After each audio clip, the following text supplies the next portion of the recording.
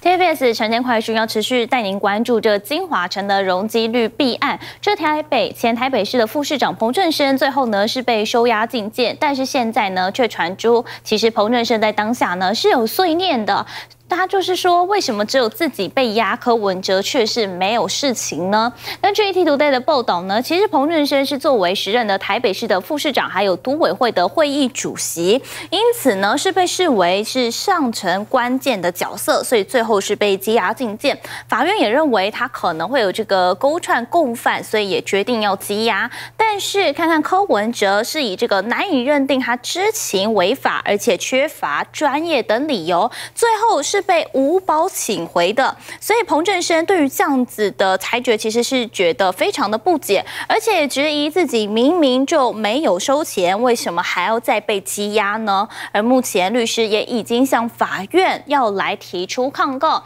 目前彭振生的律师团队但是主张彭振生是无罪的，强调彭振生的专业并非都市计划，希望可以撤销相关的裁定。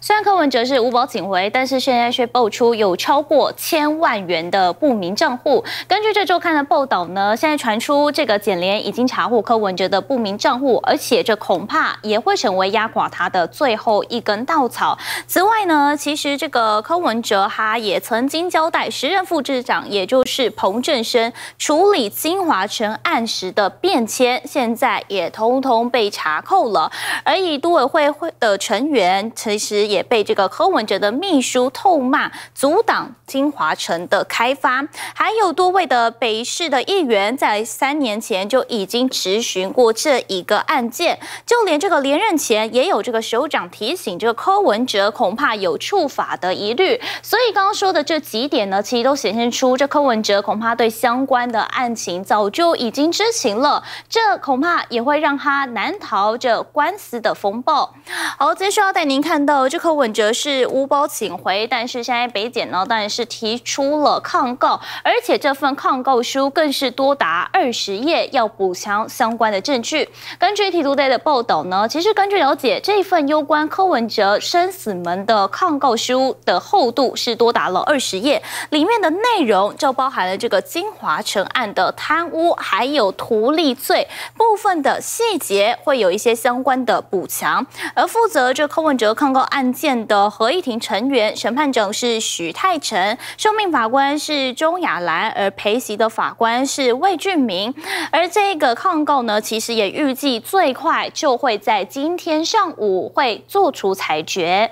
好，继续换心情，带您看到这个今年的国庆主视觉，不知道您看过了吗？但是很多人看了之后就说，这设计是华国美学回归了吗？根据自由时报的报道，其实就有网友意外发现，今年的主视觉呢，跟这个网红视网膜还有眼肉牙主持的 YouTube 频道。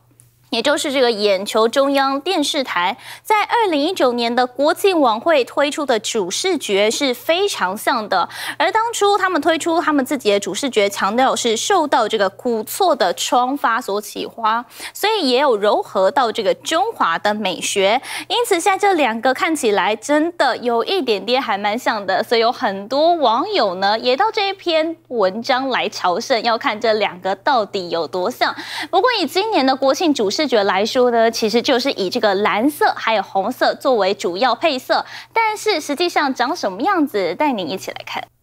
现在大学其实已经陆续要开学了，但是却有人在暑期打工的时候，为了这两千块，居然就当了车手。根据自由时报报道呢，这是一名十九岁的法律系的男大生，他在暑期打工的时候，为了赚外快，所以呢就被诈骗集团吸收，沦为当车手，而且为了每次两千元的酬劳呢，是铤而走险，假冒是投资公司的专员，而且也与一名被骗上百万的老欧面交。不过呢。就在他们面交的时候，就被埋伏在附近扮成工人的台中市的警方给逮捕了。而目前讯后呢是移送法办，而且也声押获准。不过根据了解，其实这一名男大生成绩其实还蛮优异的，现在是即将升大二。没想到是因为这个缺钱当车手，接续不只有相关的刑责，还得面临被害人的巨额求偿。以上就是为你掌握到最及时的新闻内容，将镜头交还给主播安琪。